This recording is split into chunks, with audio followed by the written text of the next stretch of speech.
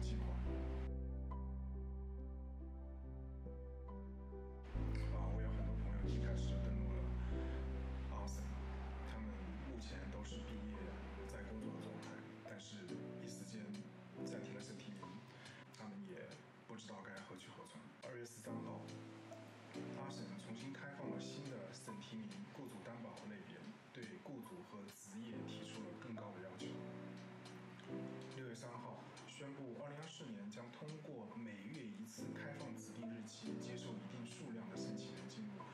AAIP 审提名的项目。我记得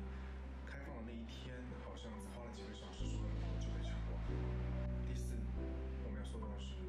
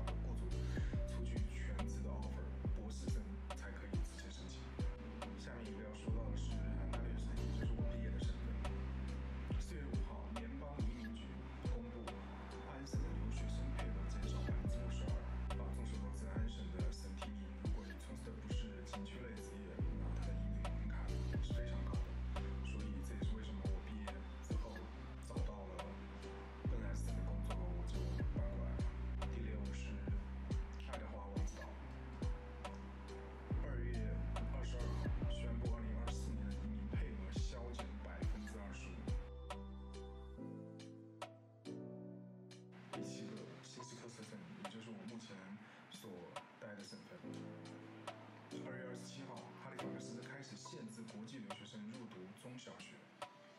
四月十七号暂停接收酒店和餐饮行业的审批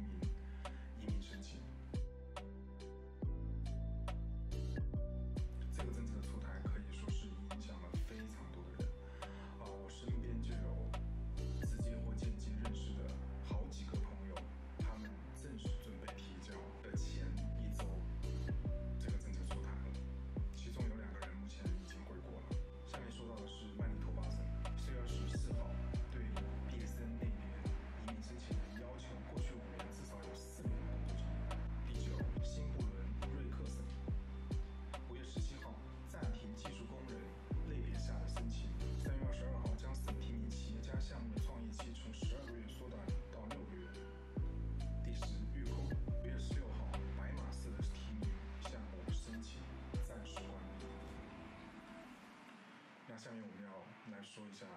联邦的政策有哪些收紧。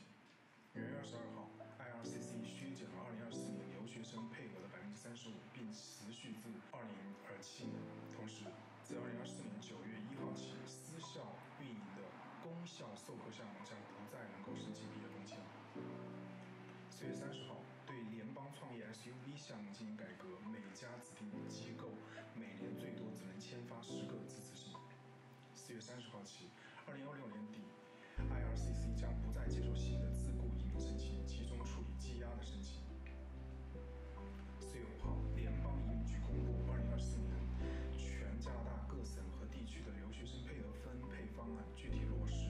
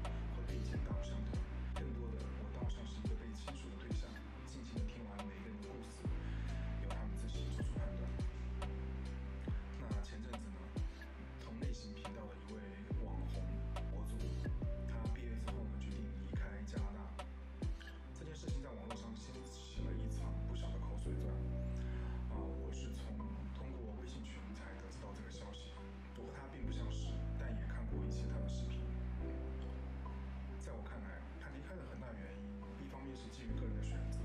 另外一个原因，我想应该是找不到合适的工作。其实通过做移民类型的自媒体并收取费用是非常普遍的一种赚快钱的方式。其实，在二零二二年，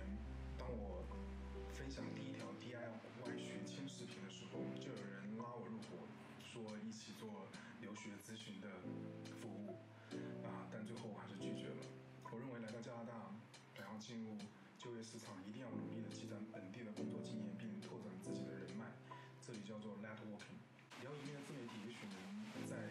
短期内赚到一些不错的外快。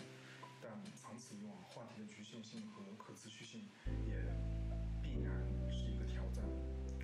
啊，有时候我在想，如果我一开始也花大量的时间去经营这个频道，而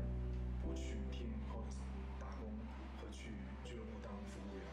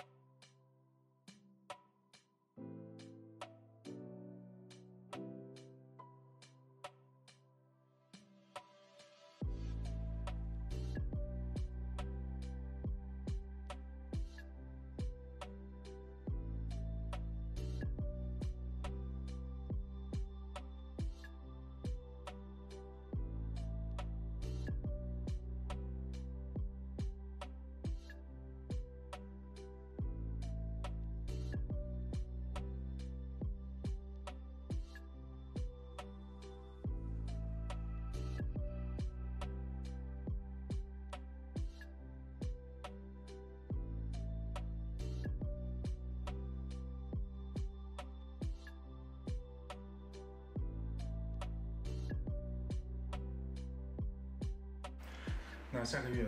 我会接待两位同教会的朋友，他们专程开车从多伦多过来探望我，并且